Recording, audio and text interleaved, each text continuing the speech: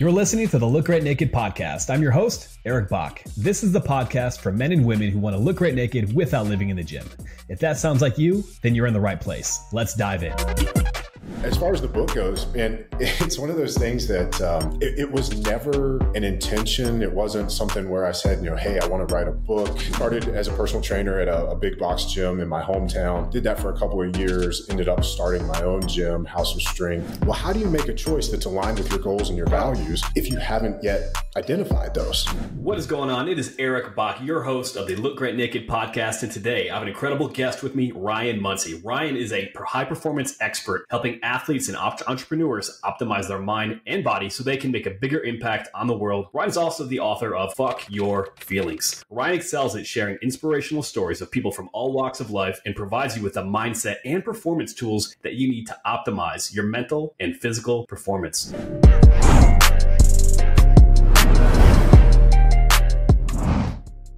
Ryan, so happy to have you here, man. I'm excited to talk about how to fuck your feelings and what we need to do to optimize not only the physical side of making a transformation, but the mental side. And Ryan, I mean, how did you come up with the world of, of fuck your feelings? How did you come up with that title? And where did that book originate? Eric, first of all, thanks for having me on. Yeah, I think you mentioned before we hit record that you're on my email list. You know, you've followed some of what I've done over the years, and, and the same is, is true in reverse. You know, I remember reading some of your early articles on T Nation and, and have kind of followed you along the way as well. So uh, this is really the first time we've had a chance to dig in and connect. So I'm looking forward to this as well. As far as the book goes, and it's one of those things that um, it, it was never an intention. It wasn't something where I said, you know, hey, I want to write a book. I actually, so back in, I guess a, a, little bit of like brief bio, I went to Clemson, studied food science and human nutrition, uh, graduated in 08 and left Clemson, went to New York, spent a year in New York City as a Derek Zoolander wannabe. And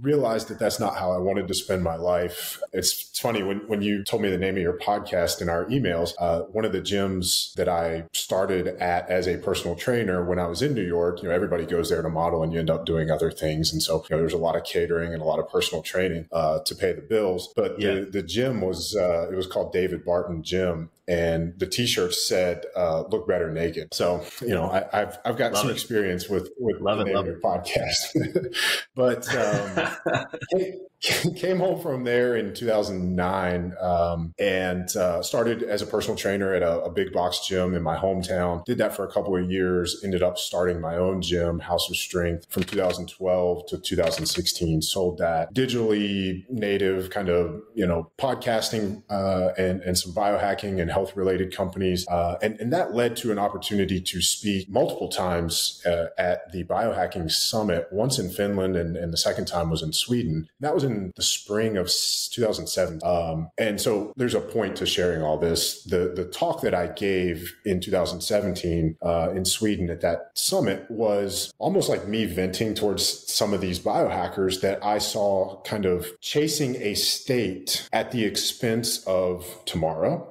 Um, and there was another speaker in the audience that saw my talk, came up to me afterwards and said, you know, hey, that was the best talk here. You know, there was hope and help on every single slide. Like, you need to do more with this. And he just so happened to have a book deal in the works. And that was, like I said, in, in I think it was in May of 17. And I went up to New York City in July and he snuck me into a meeting with his literary agent. And I had some talks with them and they were like, Hey, like, we love the idea. You don't have a big enough following for us to give you the advance that you would want right now. So our recommendation is that you go on a two year PR tour, build as big of a following as you can, and then come back and, you know, we'll see if we can get you a deal. I'm like, all right, well, if I'm going to do that, I'm just going to go on the PR tour and sell my book. Like, I'm not coming back to you in hopes that you'll give me something. Yeah. Uh, and, and so I was so excited on the flight home, you know, prior to you know the the meeting in New York that on the flight home I just took the the 45 minute talk turned that into the outline for the book and I had the whole book proposal written by the 4th of July you know and then I made that decision to write it on my own. And by I think I said by Labor Day I'm going to have the first draft written. I did that and then we went through all the iterations and it actually launched in February of 18 but you know to to your other part of that question like fuck your feelings the title man I tried so hard to make that not be the title. I, I know it's catchy and I'm yeah. glad glad now that that's what we did. But you know, I wanted it to be something sort of like the high, uh, the neuroscience of high performance. But I also knew that nobody was going to buy that book. Like you're going to see that title and you're just like, oh, no, that's too heavy. Yeah. So we went on the complete opposite end of the spectrum. And I think I even talk about this some in the book itself. But you know, number one, fuck your feelings is self talk. It's something that I say to myself a lot. It's also very relevant to what we get into, you know, both in that talk that I gave and in the book. And, and we'll dive into it here some if we want. But in the first chapter of the book, I share some research from a guy named Antonio Damasio, who's a cognitive neuroscientist. And you know, he discovered through his work that his number is 95%. I always tell people don't get hung up on the number itself. Just realize that an overwhelming majority of our decisions, right? So his number is 95% of our decisions are made based on how we feel in that given moment. And as soon as I heard that, I just, it was like a big aha moment for me because prior to writing the book, a question that had fascinated me for years, and you mentioned again before we hit record, my transition out of the gym and into the work that I do now. Um, I, got really tired in the gym of people coming in on Monday saying, What do I need to do to undo what I did on Saturday and Sunday? Right. And I'm sure you deal with this. You know, yeah. you have people that come to you and they say, Hey, I, I want a college scholarship to play X sport. Or, you know, I'm a 39 year old dude and, and I want to lose this. Or, you know, I've got this goal. Right. The X's and O's when you first get into strength and conditioning are, are fascinating. It's fun. But at a certain point, when you keep running into these obstacles, I became much more fascinated with that question of why are your actions not aligned with your goals and values, right? You tell me you want X, but you're doing all the things that, that don't lead to that. Like we, we need congruency and alignment with your actions and those stated goals and outcomes. And, and that became my fascination and, and the work that I was doing. And then it led to that talk and the book. And so, you know, when I heard that statistic from Antonio Damasio, it was like, oh, well, there you go. People are making decisions based on how they feel in that moment instead of making a choice that's aligned with the thing that they want most or that they say that they want. Yeah. And that's so powerful. You know, you mentioned the example of how do I undo what I did over the weekend when people come in on Monday? And how often do you, and people listening right now, how often do you think,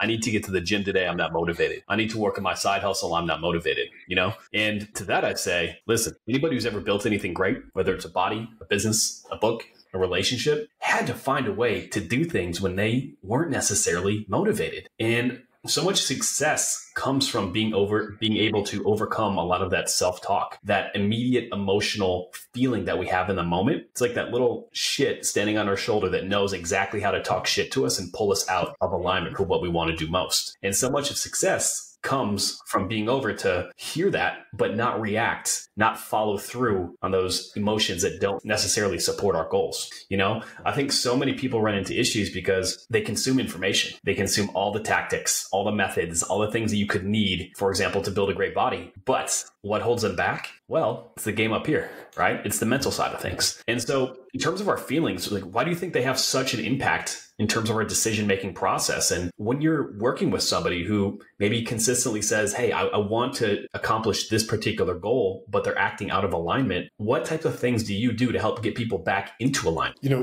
when you talk about that little shit on our shoulder that kind of knows how to needle us and, and move us in a certain direction, it's funny because one of the analogies that I always share in a speaking situation or workshops, you know, we, we have we'll call it two maybe parallel universes in our brain that are i like to think of it as playing tug of war to see who's in control right? One of them is the limbic system the other is the prefrontal cortex. The limbic system uh, I'll, I'll anthropomorphize these and say like you know the limbic system is the devil on one shoulder in the old cartoons and prefrontal cortex is the angel on the other shoulder right? And so there, there's a lot that that goes into you know understanding these but you know just for for the sake of time here the short version would be you know the limbic system is where emotions lie it, it's the older portion of our brain. Some people, you may have heard of it as uh, the, the lizard brain or the reptilian brain. It is wired for survival and it has evolutionary advantages. It's not all bad. It is a self regulating system, however. And I always tell people, you know, hey, tell me any self regulating system that doesn't overstep its boundaries right doesn't happen. So it's up to us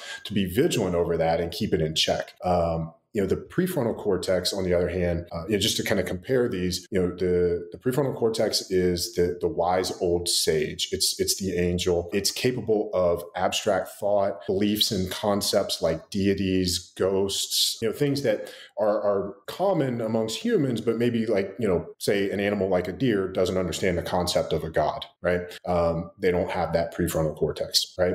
The limbic system is again, it's wired for survival.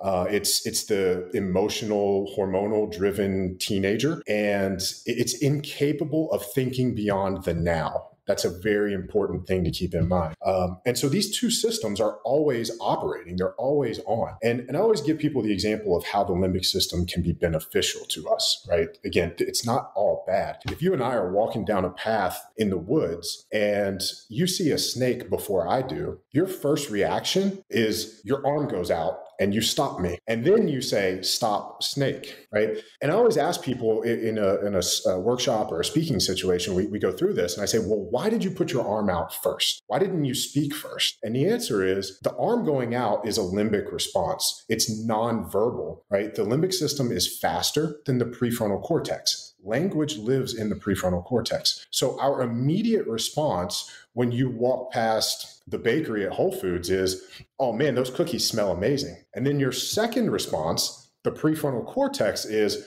oh, but I'm on a diet. Oh, but I don't eat gluten, whatever the things are, right? So people get caught up in the fact that they have the two responses. And then they start to wonder, well, what's wrong with me? And then there's judgment and shame and this whole negative downward spiral where, like, why did I immediately want the thing? Like, what's wrong with me, right?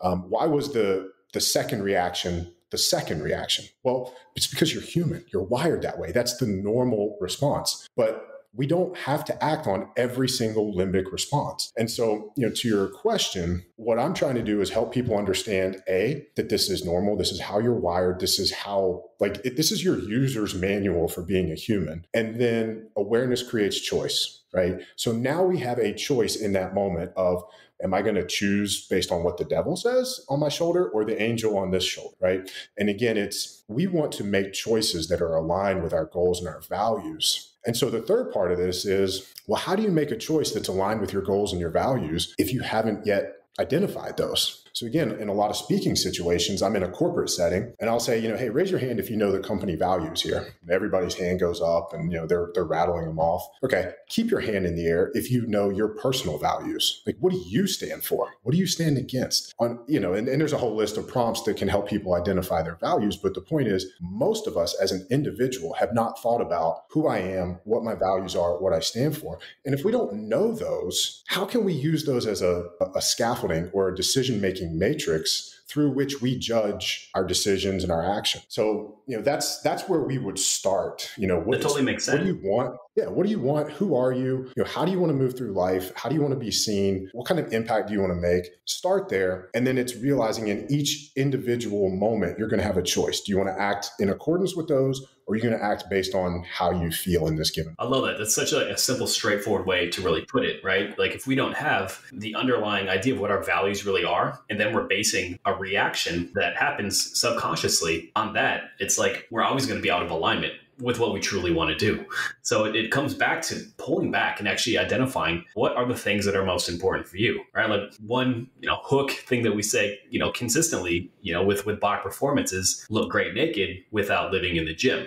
Now, there's a lot to unpack with that particular phrase, but the overall aspect of it is is build a a body, build a lifestyle where your life is improved by fitness, but not completely consumed by it. And one big issue that I see consistently is people want the result of something that happens when somebody's fully consumed by fitness without the mindset first to understand what goes into it, what sacrifices have to be made in that regard. And then when we factor in things like misalignment of different you know, marketing that people see on social media, impractical you know expectations, people always feel out of alignment, right? They feel like everything that they're doing is a failure because that initial understanding of what they want to accomplish and what goes into it isn't based really in what's what's realistic for everything else that they have going in their lives. And now one thing that you mentioned was the limbic system, right? That, that kind of that immediate reaction. Personally, I have noticed a huge increase in fear based decision making over the last couple years. You know, many things go into that. Everyone listening can probably think about, you know, 2020 and COVID and everything from there. This isn't a political discussion, but it's something that I've noticed as a coach consistently, right? And to me, I see so many people with a lot of chronic stress and a lot of self criticism comes from that. What role do you think kind of this chronic lower grade stress that people have really seemed to, to amplify a little bit more over the last few years plays a role in this decision making process? Yeah, it's a good question. And, and again, I think it's something, it goes back to kind of staying vigilant over, um, you know, where we're giving our focus and, and, and our energy. Because of what I just outlined with the limbic system, we have to keep in mind that as humans, we're wired to look for what's wrong. That's a really important piece of information to keep in mind. You go as far back into our history as, as you want, whatever belief system you have for how long we've been here, we haven't always had food security, we haven't had electricity, we haven't had the conveniences and comforts of you know modern life. Even go back just 200 years, 250 years, completely different world. And constantly looking for what was wrong or looking for threats to our survival is how we stayed alive. So again, we're wired to do that. Now, you combine that with this environment where you know technology and connectivity have accelerated exponentially right and we have information coming in at, at, rates that are orders of magnitude higher than even when you and I were kids, right? Much less, you know, one, two, three generations ago. So our biology hasn't changed. Um, so so our I don't want to say that our odd, our lives are at odds with our biology, but to an extent, that's probably fairly true. So we just have to be aware that A, we're wired to look for what's wrong. And a lot of people who control media understand that polarity drives engagement. So, and, and, and not even people in control of media, people like you and me that, that may have an account and just want clicks. Right? Uh, so, so uh, we're in an age where attention is currency, right? And engagement is currency uh, on, on all forms of media on all platforms. YouTube wants you to spend as much time on their platform as they can.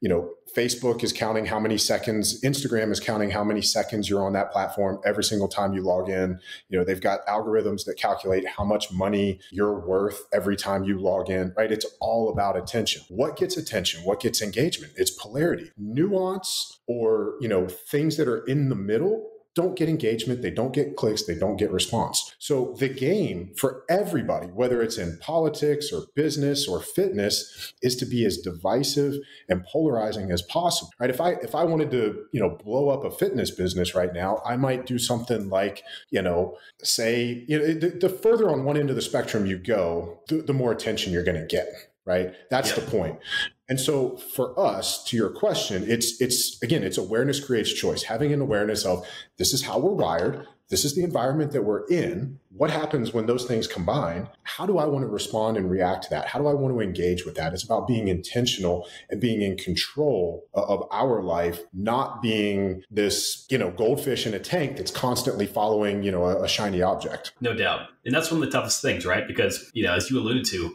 whether we're talking about content in the form of a social media post or a headline or a news story, polarity driving clicks is the game, right? Essentially, it's you have to be able to get people in the tent before you preach. And so, where this creates a lot of issues, specifically when it comes to personal development, when it comes to health, when it comes to losing fat, building muscle, whatever it is, there's going to have to be almost a hook that draws in people's attention for it to even get any weight. And many times that's going to lack context. And information without context might build a base of knowledge, but it doesn't build wisdom. And it's through wisdom and knowing what tools to apply at what time is when truly people can transform their mindset, their lives in all these different areas. And that's something that I think has really gotten lost, especially over the last couple of years as social media and everything has, you know, accelerated dramatically. You know, um, I was having this conversation with colleague uh, Andrew Coates a couple weeks ago in his podcast, and uh, we were talking about eight years ago, right? If you were trying to grow, you know, an online coaching business, you could write a couple blog posts, two, three thousand words. They would take a long time, but you know what? You would post them on a social media platform. You would drive thousands of views to it. People would get a lot more context to what it is. And now it's a five to six second TikTok or reel, and then you know you get a bunch of people who are angry that there's not a, a magnum opus thoroughly describing each piece of, of what the content is. You know, so it's a really interesting world to be in, both as a as a creator but also a consumer. And so I think what's what's important in really understanding is understanding, yeah, how we're wired, also how the information that we're consuming is being positioned, and being able to pull back and being the driver in your own learning experience and asking good questions. Like, okay, now what is the context of this before just trying to apply different strategies directly across the board, right? Because that's one of the biggest battles that I see. People start to get this monkey mind, they start throwing everything against the wall, then nothing works. And then there's fear, and then there is self loathing, there's feeling like a failure across the board. And it just creates this negative narrative where it becomes incredibly difficult to truly have a transformational progress, really in any realm. Yeah, I mean, so what I wanted to, to ask you is like, when you find yourself in one of these temporary states, how do you pull out of that? Yeah, so that's a great question. Um, and, and it's funny going all the way back to that talk that I gave in Sweden. One of the key concepts there was this idea of states and traits. Okay.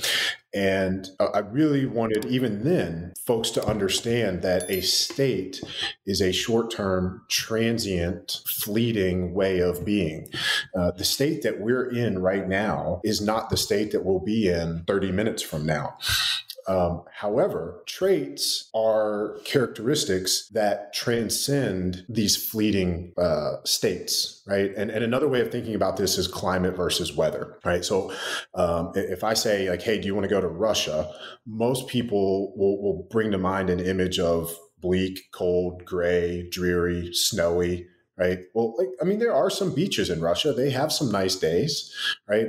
Uh, same thing in, in opposite. If I say Florida, most people think, you know, hot, sunny, beautiful beach. You know, well, what if we went on a day where there was a hurricane coming through, right? And so, you know, those are not ideal. uh, those are great examples of, of the difference between weather versus climate right? And and so what we want to focus on is like what is the climate of you? What are those traits that are you know more often than not the the way that you show up and move through the world right? So again even florida has rainy days even russia has sunny days. We really have to understand that uh, and this is a difficult one for a lot of people to grasp we're we're not i mean we're human. Part of our existence is you know struggle and and trauma and like this idea that every single day is we fuck up. Yeah, this idea that every single day is going to be a ten out of ten is not true. um, and so you know, some of it is just again, it's it's accepting that and and understanding that you know, hey, today I don't have my A game, you know, I'm, I'm going to do the best that I can. I'm, I'm not going to go backwards. Uh, you know, that's where the move the chains analogy comes in. And it's just, you know, you show up, you, you do what you're supposed to do, and, and, you move on. And then tomorrow, or, or even within a day, you know, again, these these states are short term, they're transient, um, and, and and so again, go back and answer your question, there are a lot of, I think of them as tools in the toolbox, things that we can do that shift our states. So before I give you a couple of those, uh, I'm sure you've talked about most of them on podcasts before, but another important piece of information is, you know, I think about when I say this, uh, we want to be state independent performers. And and the visual that I have in my mind when I say that is Michael Jordan in the flu game, right? Like I remember watching that game. Yeah. And so it's it's one that I can vividly, you know, pull to the forefront of my mind and, and think about, right? And so, you know, if you want to be great, if you want to be successful, you have to be a state independent performer, meaning that you can show up and do what you're supposed to do, regardless of the state that you're in, regardless of how you feel physically or mentally, right? Um, and, and, again, there are things that we can do, tools that we can have at our disposal that can help us shift our state. Again, go all the way back to that talk that I gave. I saw a lot of people, there are a lot of things that people can do to positively alter their state in the moment, but might be detrimental long term. What I want people to do is look for tools or activities that can positively alter our state now and also positively benefit traits long term. So things like yoga or meditation, breath work. Uh, for example, with meditation, there's research that shows that on average, a person over the age of 65 loses 20% of their temporal brain mass. The only group who has been spared that wow structural brain loss are people who are medita- uh, lifetime meditators, right? So, so that is a tool or a practice that has positive state shifting benefits in the now, but also long term trait benefits, right? Um, so some other tools, you know, music is an easy one, right? You know, just have and I'm sure a lot of people probably already have this. You go to the gym, you have a bunch of different types of music. You know, some days it's rap, some days it's, you know, hard rock, some days it's classic rock. Like you already, a lot of people already intuitively know some of these things, right? So music has been shown scientifically, you know, it, it can shift our states. Movement does. We've all seen the meme, you're 30 minutes away or one workout away from you know a better mood. Um, you know i can put 30 seconds on the clock tell you to do as many burpees as you can in 30 seconds and your state will change. So here's an important thing i skipped this earlier. Um, neuroscience defines feelings as mental experiences of physiological states. That should make you really happy eric because you know how to change someone's yeah. physiological state right? Yeah exactly. So the, the burpees thing right? That's what made me think of it because that's the example i always give when i when i say that right? So 30 seconds from now, you can be in a different state and have a different mental experience. It's that easy. Um, and, and so the point in having all of these tools at our disposal is because, again, we're all going to have bad days. Some days the music works, some days it doesn't.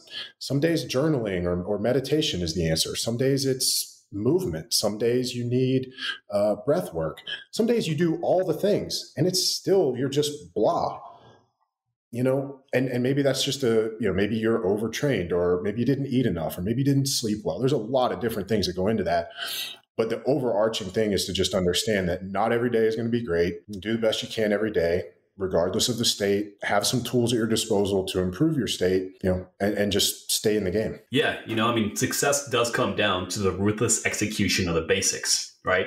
And so when we take certain actions consistently, we can change our state. When we consistently change our state, we can start to begin to change our personality traits. Right. So if we want to look at something as simple as an action step of, of beginning a meditation practice, maybe you start with three minutes a day. Listen, some of those days you're going to feel like you're failing because you keep completely thinking about what's on your to-do list, something that happened the night before, whatever the case the important thing isn't that you are perfect with the meditation, especially meditation as an example. Your ability to refocus and get right back into it is really where the beauty becomes. That's where you start to develop that space to start to be in control and not react always to that little bastard on your shoulder who's trying to get you to act out of alignment, right? But I think really where this comes down is, yeah, it's all about getting those reps in. It's about that consistency aspect. You know, one thing I tell my clients consistently is if you have 10 workouts, three workouts are going to be like, hell yeah, I'm crushing it. Four are going to be like, yeah, you know, put in some work. And three, you're just not going to feel like being there, but you still have to show up, right? Because it, it's just all about getting those reps and being able to push through, especially when not everything is aligned. And as you mentioned, you know, high performers, the Michael Jordan game when he had the flu, an example. Uh, Navy SEALs, I'm sure they're not always motivated. I'm sure they're tired, but it's about being able to sometimes push those short term emotions away and be able to do what has to get done regardless. In a perfect phrase, sometimes you just have to say, fuck your feelings and get the job done. And over time, it becomes easier and easier and easier. All right. So, yep. and something that you mentioned right here. So, like, what if somebody comes to you and saying, you know what, I'm, I'm consistently, you know, acting out of alignment. I'm not motivated and I need to reset with maybe a daily routine. You know, what are some, what are three consistent things that I should be doing each day to start rebuilding that motivation and that discipline to be acting in alignment? You know, it, it's tough. Um, I, I think for me, if, if that was a coaching client before I said these are the things, I would have a follow up question for them that would be, you know, what what are the, what is the thing that you want to be doing that you're not? Um, you know, because I think I, I know as a podcaster kind of what you're going for with the question, but as a coach, it's such an individual answer. Um, yeah, you know, you, you have you have to tailor those things to the individual, either based on what it is that they want or what they're not doing or why they're doing the thing that isn't aligned. Um, so I think, you know, to, to make that individual and, and precise, there's a little bit more information required. Yeah. Hey, I'm 34 years old. I'm a dad. You know, I've, I've got a business right now, but I'm just not as consistent with what I need to be doing in the gym. I'm working, you know, 10 to 12 hours a day building my own business. But at the same time, I know that I need to take care of my health. I need to lead by example. And I feel incongruent when I'm not showing up at the gym, especially when I make that promise to myself to do it each day? Can you help me get back into alignment? Yeah. So, I mean, one would be, I think, shifting the thought of you being the reason that you're doing it to helping you, and, and this is going to sound cliche or, or cheesy, but a, a deeper why, right? We'll always let ourselves down. But if you can shift the reason that you're doing it to be, uh, to, to A, have more energy, to, you know, play with your son at the end of the day, um, or, or, your kids at the end of the day. Uh, and, and then the second part of that same thing is, you know, to set an example for them. Like, you know, there's going to be times where they're going to be like, Dad, I'm too busy. I couldn't get it all done. And you're like, well, you know, maybe spend less time on social media or, you know, watch less TV, whatever they're doing. Right. And so it's up to you as the parent to model that behavior right? And so you know then turning that around you know now as the individual in, in, in our hypothetical you're starting to see this through the lens of okay well how are my actions being seen by the people that you know I'm raising and leading and responsible for. You know, am I setting the example for them, right? And now we're kind of getting into something that's a little bit deeper. And like I said, you'll let yourself down, but you're not going to let your kid down, right? So, like you said earlier, like as a coach, like now we kind of have a hook in you, and and if you're dogging it, I'm like, you know, Eric, kids over there watching. What kind of example are you setting? I'm going to get a much better response from you in the session if I say that to you versus, you know, hey, Eric, you said you wanted to drop a couple of jean sizes, like you're dogging it today. You're just like, oh, well, you know, I'm, I'm tired. It's not my best day. Like, like there's an out if, if it's about you. Right. Um, so, so that would be one way. Um, you know, that's kind of like yeah. on the, on the mental side, on the approach, you know, there, there's also like the logistical side where, you know, maybe you are tired. Maybe you don't have enough time. You know, if your workout that's programmed is 90 minutes, well, maybe we need to cut that down to 45 minutes or 30 minutes. Like, what can you realistically accomplish, uh, you know, in the given time that, that, you know, how much time can you allot to this practice, right? And, and I know you've said, you know, uh, we want to look great naked without living in the gym. So you're probably not programming a 90 minute workout, but if the person, you know, having that issue is, you know, can we accomplish the same effect or, or get the same stimulus in, in a much shorter time, right? So, uh, off the top of my head, those would be a couple of things I would look at. No, that's great. And I really love your response to the first portion of the question as well, and getting that deeper why. You know, I think one of the most important things that I've seen, and, you know, when I'm talking with my clients, this is something we talk about, but is like, how does this particular result, how does this outcome of, of looking great naked, of losing fat, building muscle, improving health, how does that impact your life outside of what you see in the mirror? Right. And in many cases, it's about showing up. It's about leading by example for your family. It's about maybe showing up with more confidence and building your business or representing your business and building your career, right? All of these things are interconnected. As you mentioned, right? Changing your physical state can change your mental state. And so all of these things tie in in terms of being able to look, feel, and perform to the best of your ability. Now, I'd like to pivot just slightly and I would like to talk about food, nutrition, just a little bit, right? And, you know, given where you are now in your life, hey, man, you've been Derek Zoolander, you've been a high performing athlete. You know, what type of things do you recommend for people to optimize their cognitive state when it comes to nutrition? Like what types of foods, any particular strategies that you lean into? I think for me, it, it's easy to immediately start to think about oh we could we could do this or we could do that like I, like I have a couple of kind of pathways that I might follow myself and and go back and forth between them in different phases of my year based on how I'm training. But that's so far down the uh, the road in terms of the changes, and so I think I have to be cognizant of that. You know, before I jump into you know the the end state, it really starts with eliminating a bunch of the shit that the average person eats. Um, I was really yeah. fortunate that when I was in school, uh, so I was I was at Clemson from 02 to 08. So in the early 2000s, um, I had you know we had, we had all the science classes and then we had the nutrition classes, and everything we learned in science, you know, anatomy, physiology, metabolism, biochem. Okay, understand all this. Then we go to the nutrition classes, you know, and I've got this overweight teacher that doesn't look healthy, and she's you know trying to tell me all foods fit. There are no bad foods. Uh, you know, if someone's diabetic, we're going to reduce their carbs from 60% of their calories down to 50% of their calories. And I'm the kid in the back of the class, yeah. like eating a can of tuna. You know, everybody's looking around like, what's that smell? I'm like, yeah, that's me, dude. And, you know, I'm, I'm asking the teacher, I'm like, this doesn't make sense. Like, why? Like, that's not true. That's not what we learned in biochem. That, and they're just like, you know, they just want me to shut up. They don't want to. They don't want to answer the question. So, long story short, I, I say I was really fortunate to have that exposure early on because I saw then what everybody is yelling about now on social media, right? That um, you know, big food, big pharma, you know, they're controlling the narrative on, you know, the whatever my plate, my pyramid, whatever we call it now. Uh, you know, I chose not to become a registered dietitian at that time because I didn't want to pay to do an internship to be a part, part of that orthodoxy that was preaching what isn't accurate. Um, and so, you know, if we want to be a high performer, if we want physical health, if we want mental health, you know, we need to avoid. Um, man, the list of things to avoid is so long. I'm going to forget some things, but you know, you got to cut out the seed oils. Um, you know, obviously cutting out all processed foods. You know, basically, I mean, at one time you could tell people shop uh, around the perimeter of the grocery store. I, I, don't even know if that's true anymore. There's so much, you know, bullshit that that has found its way there.